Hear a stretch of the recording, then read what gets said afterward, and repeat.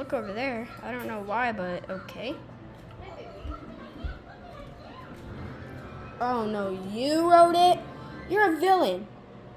What did you do this time? Well, if you want to find out, look behind you.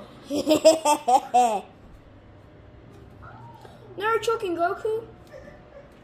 What do you, what did he do to you? First of all. Uh, I'm calling your brother. No, not. Hey, Batman. Um, other Batman's brother. What happened?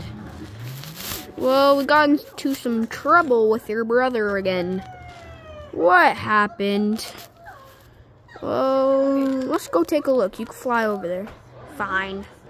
So apparently, he started choking Goku and he wrote that note over there that says, look over here. And he even wanted to get in trouble.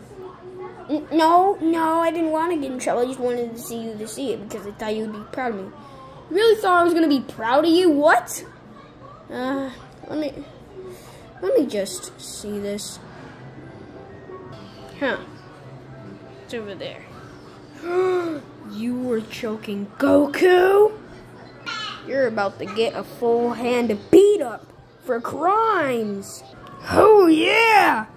Mm, ow, it hurts my leg. My muscles are stretching. It hurts. Ah! Oh yeah! That's what you get for crimes. If you don't stop, you're gonna go to jail. Ah!